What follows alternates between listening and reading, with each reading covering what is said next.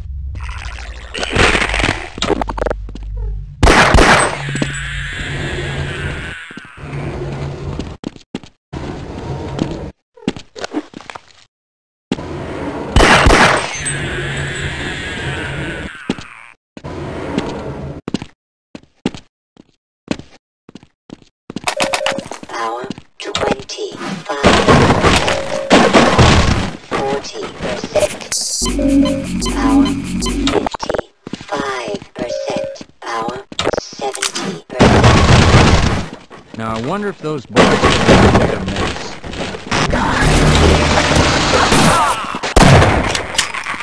Whoa, that was close. Let's get the hell out of here.